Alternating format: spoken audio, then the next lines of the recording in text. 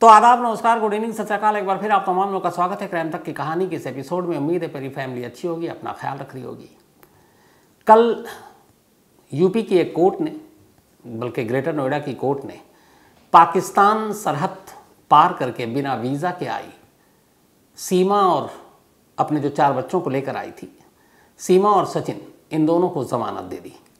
मुझे अपनी crime reporting के करियर में बहुत कम ऐसा याद है कि किसी महिला पर जासूस होने का शक हो या जो बिना वीज़ा के ख़ासतौर पर पाकिस्तान से भारत में आया या आई हो, उसे इतनी जल्दी बेल मिलती या ज़मानत मिलती, लेकिन ऐसा हुआ। तो जैसा मैं शुरू से कह रहा था, खुद नोएडा पुलिस की शुरुआती जाँच के बाद ये साफ़ हो गया था कि मामला जासूसी का नहीं है, बल्कि मामला इश्क का है। तो सीमा और सचिन को जेल में रहना पड़ा दो तीन रात, लेकिन अब उसके बाद ज़मानत मिल गई। और आज सुबह सीमा कायदे से कहें तो अपने ससुराल ग्रेटर नोएडा के रब्बूपुरा इलाके में पहुँच गई। पूरे इलाके में पूरी भीड़ है, लोगों का आना जाना लगा हुआ है, क्योंकि हर एक को ये खबर मालूम है। तो आज दोपहर बाद मैं भी ग्रेटर नोएडा के इस रब्बूपुरा गाँव पहुँचा। अपने कैमरामैन विनोद शिकारपुरी को लेकर भूपेंद्र जो हमारे नोएडा के रिपोर्टर हैं, उनको वो भी साथ, और हम लोग वहाँ पहुँचे। और वहाँ सीमा और सचिन से पहली बार मुलाकात की। दोनों से बातें हुई, कैमरे पर भी और बिना कैमरे के भी। और बातचीत के बाद मुझे लगा कि दोनों बहुत खुश हैं। सीमा को ज़मानत मिली, बाहर आई है। उसने एक बात कही, मैंने उससे पूछा कि कम से कम वीज़ा के बिना आई हो, यानी लीगल तरीके से तुम इंडिया में दाखिल हुई हो तो केस तो बनता है और ये जुर्म है। उसने कहा, जो भी हो, मैं अब पाकिस्तान जाना नहीं चाहती हूँ। मैं यहीं अब रहना चाहती हूँ, मरना भी हो तो यहीं मरूँगी और मैं सचिन के अलावा और किसी के साथ नहीं रहूँगी। इतफाक़ से सीमा के पति ने सऊदी अरब से एक वीडियो रिलीज़ किया है और उस वीडियो में अपील किया कि मेरी बेगम यानी सीमा को वापस पाकिस्तान भेज दो हमारे पास। उसने प्राइम मिनिस्टर नरेंद्र मोदी से भी अपील की है। तो अपने इंटरव्यू जो आप देखेंगे इस अभी आगे, सीमा और सचिन से जो मैंने पूरी बातचीत की है तो मैंने इस के बारे में पूछा कि आपके पुराने शौहर ने एक वीडियो जारी किया और आपको कह रहे कि वो भारत सरकार पाकिस्तान भेज दे तो आपका क्या कहना है? और क्या आपने सुना? तो सीमा का कहना था, मैंने वो वीडियो सुना और देखा और वो झूठ बोल रहा है। उस शख्स ने मुझे कब का छोड़ दिया? चार साल से हम अलग हैं, वो सऊदी में है, उन्नीस से। और वो मुझे बहुत मारता पीटता था, मेरे ऊपर मिर्चियाँ फेंकता था।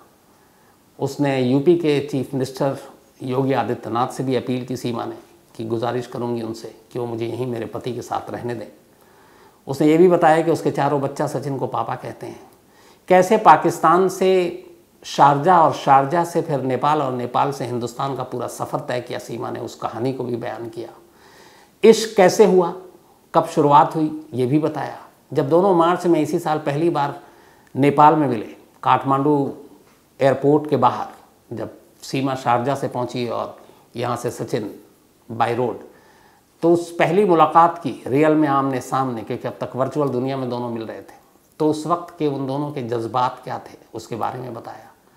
उसने ये भी बताया कि मार्च में जब वो दोनों पहली बार मिले थे, तब कैसे उन्होंने वहाँ शादी की थी एक मंदिर में।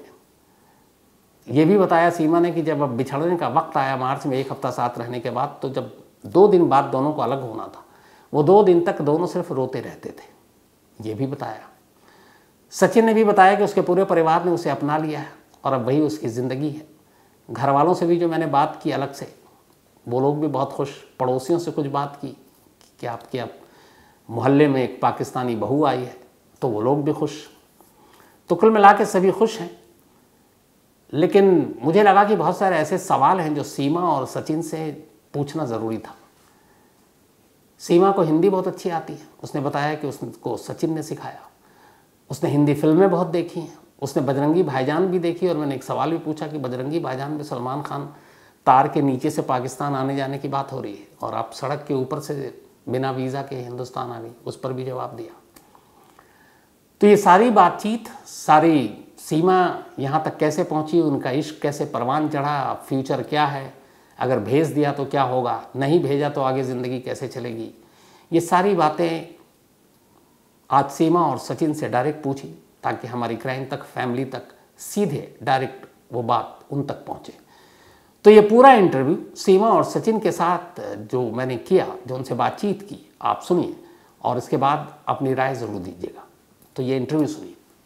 इस वक्त हमारे साथ वो दो लोग हैं जिनकी चर्चा पिछले कई दिनों से पूरे देश में हो रही है। एक है सचिन और दूसरी है सीमा।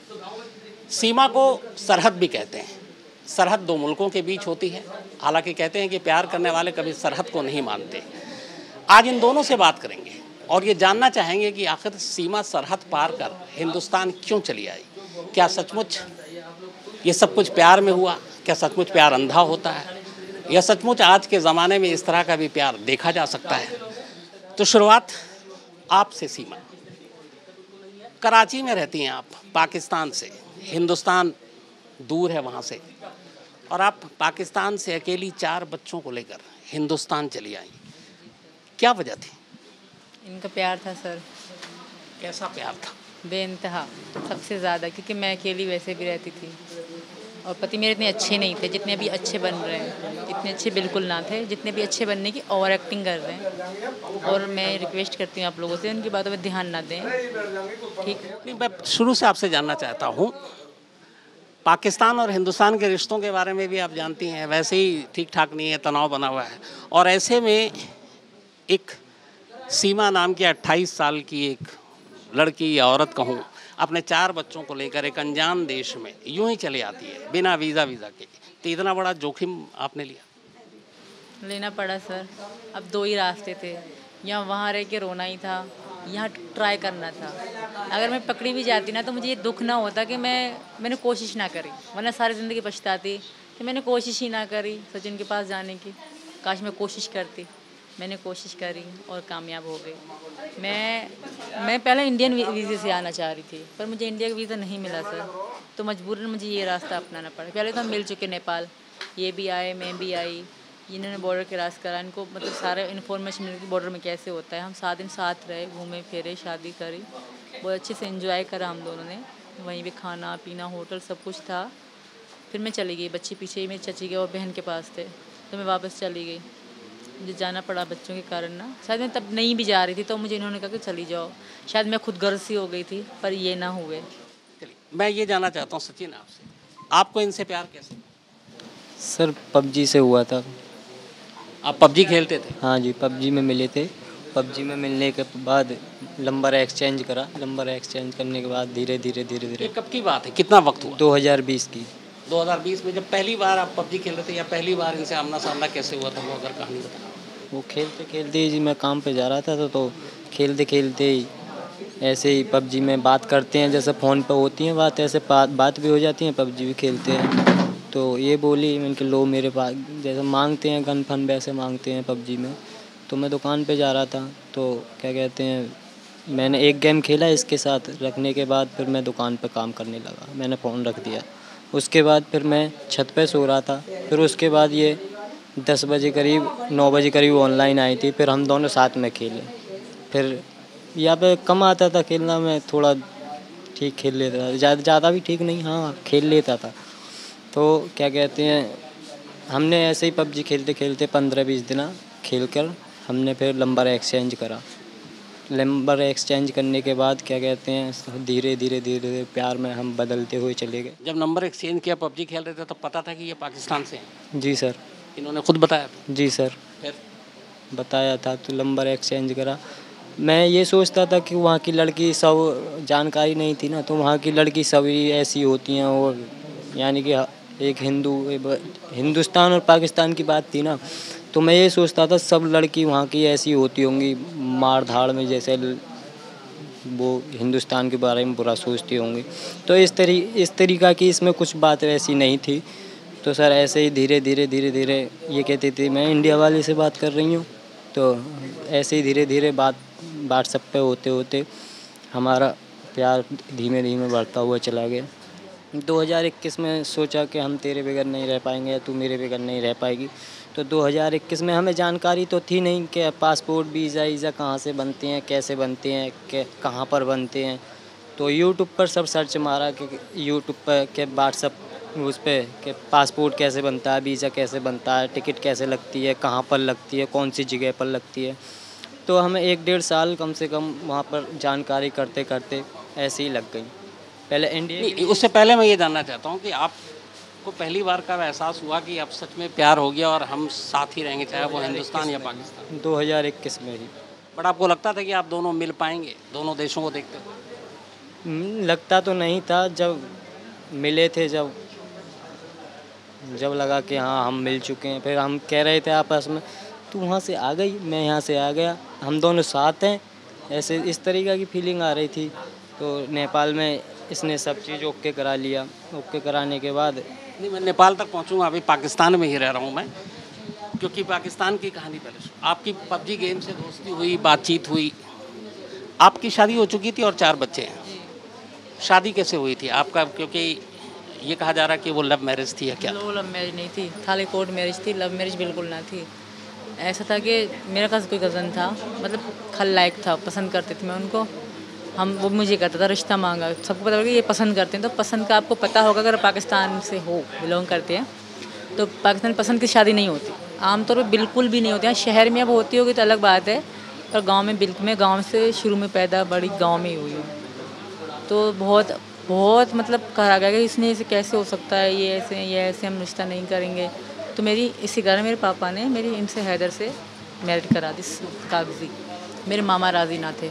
मेरे मामा कोई मेरे मामू जो है ना वो कोई भी राज़ी ना था। हैदर से अब तक इनके कारण मेरे मामू बात अब तक मुझसे तो आपकी शादी मर्दी के खिलाफ हुई? ये हैदर को पता है कि मजबूरी के कारण हुई। अगर उसे कोई पर्सनली पूछे तो।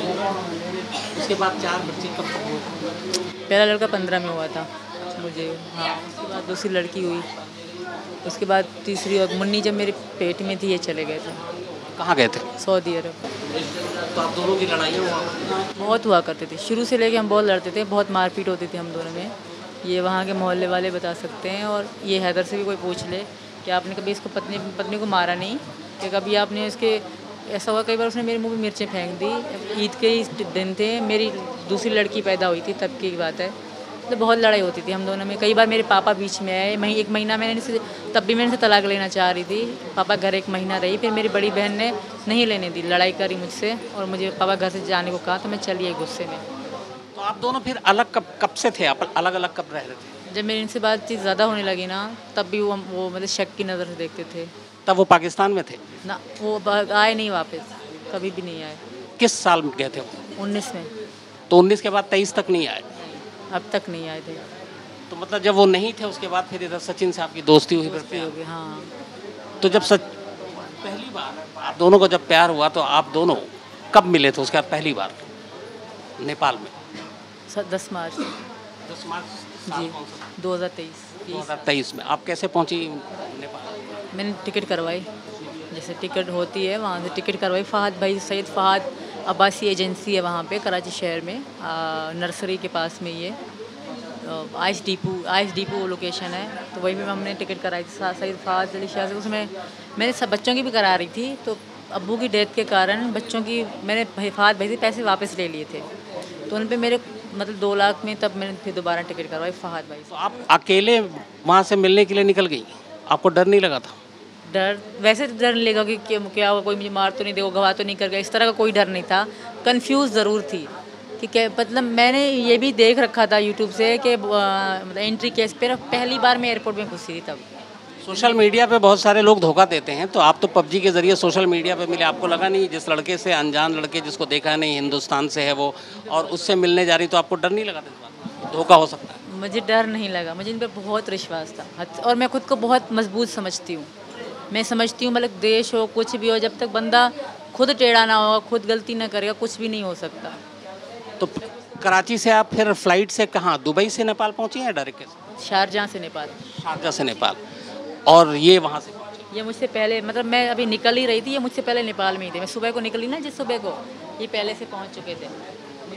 तो इनको पता था कि आप ये सुबह नेपाल पहुँच रही हैं। हाँ जी सर मैंने एक दिन पहले ही वहाँ की एनसीएल सिम थी। वो सिम मैंने वहाँ जगह ली थी बॉर्डर पर पहुँच कर ही एक दिन पहले। यानी नौ नौ मार्च को सुबह को ही मैंने वहाँ पर एन आप दोनों की पहली मुलाकात आमने सामने कहाँ पर हुई? काठमांडू वहाँ इंटरनेशनल एयरपोर्ट पर काठमांडू आप एयरपोर्ट के बाहर इनका इंतज़ार कर रहे थे? जी सर। तो आपने इनको देखते ही पहचान लिया था? हाँ जी सर फ़ोन पे थे। मैंने कि तुम कहाँ हो? मैंने कि मैं आऊँ मैंने कि ब्रेड केस में वहाँ से लेकर आ रही हूँ तो देख लिया था। मैंने कि ये रहा मैं यहाँ। पहला रिएक्शन जब आप दोनों एक दूसरे को आमने सामने देख रहे थे एक बार पहली बार आमने सामने आप मिल रहे थे तो आप दोनों की उस वक्त क्या रिएक्शन था? क्या भावनाएँ थी? कोई पता ही नहीं क्या रिलेक्शन थी क्या वो था। इतनी खुशी मिल रही थी कि बहुत खुशी मिल रही थी। तो एयरपोर्ट पे आप दोनों मिले। इसके बाद फिर कितने दिन रहे वहाँ पर? सात दिन सर। सात मेरे सात दिन बच्चे अकेले थे तो मैं सात दिन की टिकट कराई।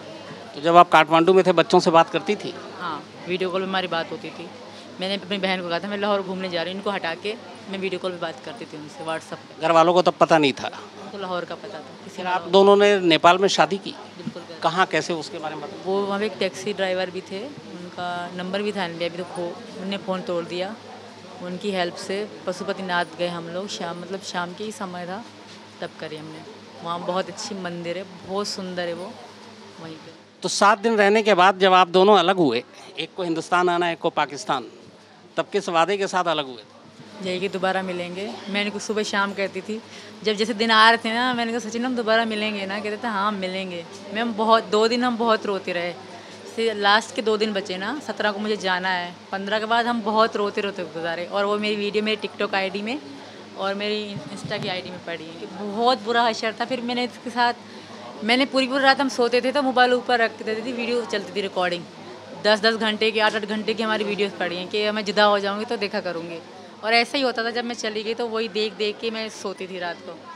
हमें तो बहुत आप मार्च में अलग हुई उसके बाद मई में फिर आप बच्चों को लेकर आने का आपने फैसला कैसे किया? फैसला हमारा पहले से था। बच्चों के तो वीज़े थे ही ना। बच्चों के और मैंने वीज़े पहले अपने साथ लगाए थे। मुझे बस अपना दो वीज़ा दोबारा लगवाना पड़ा। बच्चों का पहले का ही वीज़ा था। उनकी उनतीस मई को डेट एक्सपायर थी बच्चों के वीज़े की। कभी ऐसा हुआ कि सचिन ने आपसे कहा कि नहीं आप इंडिया तो आ जाओ पर बच्चों को मत लाना? नहीं कभी ना कहा। कभी भी नहीं कहा। हाँ पैसे कम थे हम पे शुरू में। टिकट बारह लाख ही हो रही थी। पैसे सात आठ लाख थे मुझ पर क्योंकि मेरे पे बारह लाख थे तो तीन लाख में पहले ख़त्म कराई। तो फिर मैं टेंशन में हम तो हम दोनों टेंशन में थे कि पैसे पूरे कैसे होंगे? तो उन्होंने एक बार अपने लालन से भी मांगे कि थोड़े पैसे दे दो मैं सीमा को भेज दूँ। तो वो उन्होंने इनको डांट दिया कि फिरोड शिरोड छोड़ दे अगर आना होगा खुद आ जाएगी। तो पैसे वैसे ना है इनकी लाला ने कहा। तो मैंने कहा तुम रहने दो अगर नसीब में होगा तो हम मिलेंगे वरना बस रहने दो। पैसे का इंतज़ाम कैसे किया? फिर मुझे सस्ती टिकट मिल गई। जब तब डॉलर ऊँचा था तब टिकट्स महँगी हाई रेट पे थी। और मैंने फिर जो ना लो लो सीट पता नहीं क्या लिखा होता है टिकट्स में तो उन्होंने मुझे सस्ती वाली टिकट करके दी। आपने जब ये तय हुआ था कि ये इंडिया इंडिया आएँगे तो चारों बच्चों के साथ आपने कहा था कि अपनाऊँगा? हाँ जी सर चारों बच्चों के साथ वजह था बच्चों को लिया और बिन माँ के बालक ऐसे ही रहेंगे हम अपना जीवन बैर वो करेंगे। काटेंगे यहीं पर बच्चों को लिया मैं अपनाऊँगा। मैंने खुद भी कहा था मैंने आज तक इससे ये भी नहीं कहा कि बच्चों को रहने दे तू ऐसा मत कर।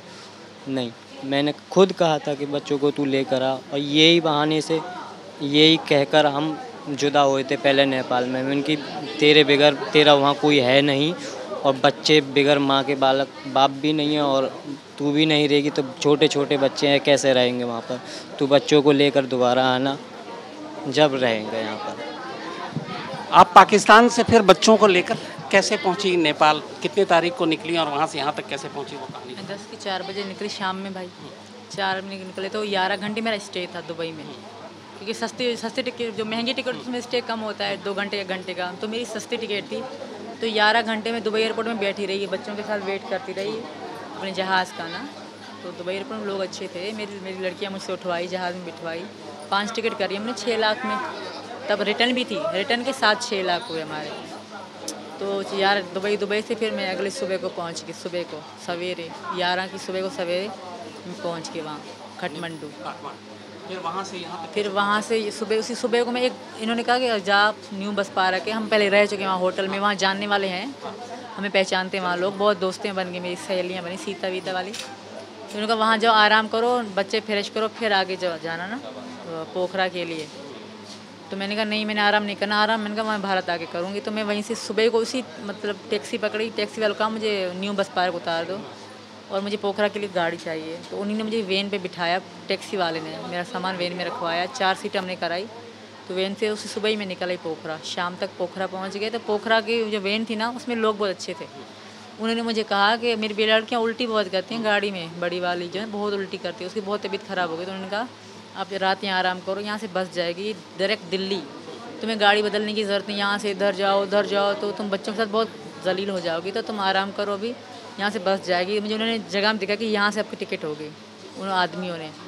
फिर मैंने वहीं भी एक होटल पहले बुक करा, बच्चों को खाना खिलाया। फिर उस होटल वाले ने मुझे बताया कि ये ये जगह है। तो वहीं से मैंने बस वाले से बात करी। तो उन्होंने मना कर दिया कि बस फुल है, तुम अभी नहीं जाएगी। फिर उन्होंने मुझसे नंबर लिया कि दूसरी बस जाती है, अगर जगह हुई तो मैं आपको बता दूँगा। तो मैं होटल पे चले, इन्होंने कहा सो जाओ रात को। तो मैं सो गई। उस रात हमने आराम करा, बच्चे ने खाना वाना खाया।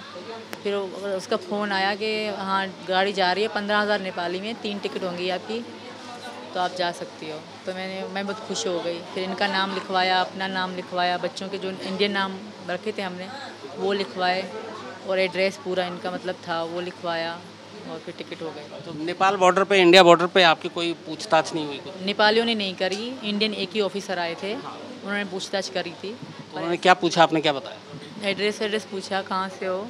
तो मैंने इनका एड्रेस पूरा बता दिया रब्बूपुरा का। इनका इनको अपना पति शो करा तो जब यहाँ आई पहली बार आप एक तरह से ससुराल ही कहूँगा अब आ गई तो उस वक्त आपकी क्या फीलिंग थी? उस वक्त आपके जज्बात क्या थे? जब मैंने इंडिया का बॉर्डर क्रॉस करा ना मैं बहुत खुश हो गई मैं झूम उठी सच में। फिर मैंने त- कानों में हैंड फ्री लगा के बड़े स्पीकर में गाने चला के अपने कानों में बहुत खुश हुई मैं। फिर मुझे इतनी मतलब खुशी हो रही थी कि मैं इंडिया में हूँ। यहाँ ससुराल आकर कैसा लगा पहली बार आप जब पहुँची यहाँ दाखिल हुई? बहुत अच्छा लगा। बहुत मेरी इच्छा थी यहाँ आना। इच्छा के कारण ही हम जेल में पड़ गए। इनको मैंने कहा वकील करो मैंने घर जाओ ये जो इच्छा कारण ये सारी हिंदी क्या है? इन्होंने सचिन ने सिखाई। मैंने खुद सीखी है इनकी सुन सुन के। अच्छा सुन सुन। और हमारे यहाँ मैं ज़्यादा वो ड्रामा में देखती हूँ तेनाली रामा बहुत अच्छा लगता है मुझे तो उसमें शुद्ध हिंदी बोली जाती है। तो वहीं से हिंदी फ़िल्में भी देखती हैं आप? बहुत। हमारे यहाँ देखी ये फ़िल्में जाते हैं इंडियन एक बजरंगी भाईजान फ़िल्म आई थी देखी थी आपने? बजरंगी भाईजान की कहानी ये थी कि सलमान खान एक बच्ची को पाकिस्तान थी की थी मुन्नी। उसको छोड़ने के लिए जाता है और वो तार के नीचे से जाने की बात होती है। आप तो सड़क के ऊपर से वो भी बिना वीज़ा के आ गई हैं। की बात है। सलमान खान ने सोचा नहीं था ना सोचता तब भी सलमान खान अच्छा तरीका निकालता ना ही मट्टी के नीचे से चला गया। यहाँ आकर अब आप खुश हैं? बस आप लोगों से रिक्वेस्ट है कि योगी जी से हमारे लिए ये रिक्वेस्ट करें कि मुझे यहाँ रहने दिया जाए बस। मुझे यहाँ की नागरिकता मिल जाए और मैं वापस नहीं जाऊँ। आप पाकिस्तान नहीं जाना चाहती हैं?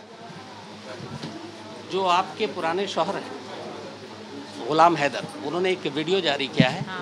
और सऊदी अरब से और अपील की है कि हमारी बेगम को वापस वापस पाकिस्तान भेजा जाए। हाँ। उस वीडियो को आपने देखा?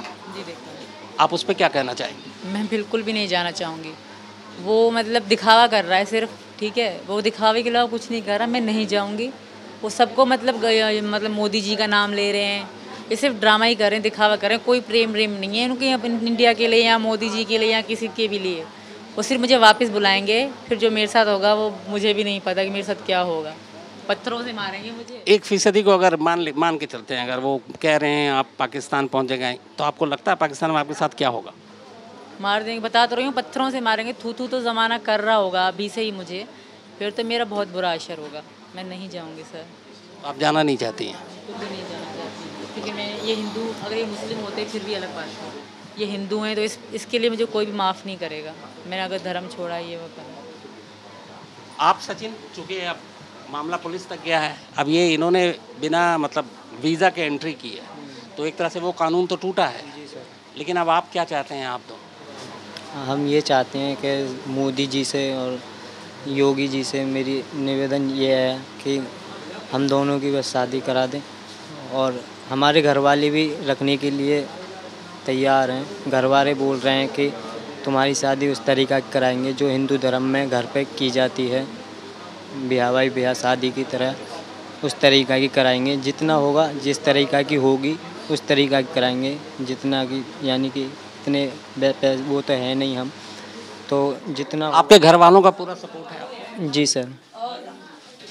पूरा सपोर्ट। आपके बच्चे हालाँकि उम्र कम है। फिर भी वो यहाँ आकर उन्हें इस बात का एहसास है कि वो इस वक्त कहाँ है। एहसास है उनको। इनको पापा कहते हैं ये। अच्छा। ये जब मेरे पति तो वो तो इतना बात ना करते थे इनको तो ये पापा ही कहें। मेरा बड़ा लड़का है वो भी पापा बोला है इनको। छोटी लड़की तो बोलती है ही पापा मेरे। किसी और को तो है ही ना। और उसे पता है कि वो इस वक्त हिंदुस्तान में है। हाँ पता है। उनको भी इस बात की खुशी है। मेरे बड़े लड़के को कि हम हिंदुस्तान में। आपके चलिए पति को छोड़िए शोहर को छोड़िए। आपके जो घर वाले हैं माँ बाप भाई बहन हाँ। उनको तो अब सारी जानकारी है। उनका रिएक्शन क्या है? उनसे तो बात ही नहीं। मेरे पापा मम्मी है नहीं। अच्छा बड़ी बहन की शादी हो गई छोटी बहन और भैया हैं बस। और उनकी भी कल शादी हो जाती तो अपनी ज़िंदगी में खुश रहते। पिसती तो मैं ना वहीं पे। पिटाई तो बेइज्जती सब सब मेरे साथ होता बहुत बुरा होता। हैदर मुझे बहुत धमकी देते थे। अगर आपको उससे कांटेक्ट है ना तो पूछ लीजिए कि आप इसको धमकी देते थे। आप उसे झूठ मूठ में कहिएगा कि उसने हमें सबूत दिखाया कि आप उसको धमकी देते थे। तो आपको बताएँगे अगर सच्चे हैं तो। वो देते थे क्या ना। चलिए आखिरी सवाल। बहुत बार किस्सों में कहानियों में फ़िल्मों में आजकल जैसे आप दोनों की कहानियाँ हर तरफ़ है देश में सुनते हैं प्यार प्यार प्यार एक होता है कि प्यार अंधा भी होता है ये भी कहा जाता है। सरहद पार कर लिया आपने। अब आने के बाद आपको यहाँ कई दिन भी हो गए। तो आपको लगता है कि आपको जो मंजिल चाहिए थे वो मिल गई? मिल गई अब लगता है मिल गए कल तक भी नहीं लगता था। कल तक भी वहाँ जेल की औरतें कुछ मुझे डरा रही थी कि हम छः साल से पढ़ी हैं, आठ साल से पढ़ी हैं, दस साल से पढ़ी हैं, वहाँ पढ़ी थी औरतें। बहुत सुंदर थी, बहुत सुंदर। तो वो पड़ी हुई थी। मुझे भी, तब भी मैं भी डरती थी। फिर मैं वहाँ जेल सबको कहती थी, मेरे पति और मेरे बच्चों को छोड़ दो, मैं यहाँ फिर भी ठीक हूँ।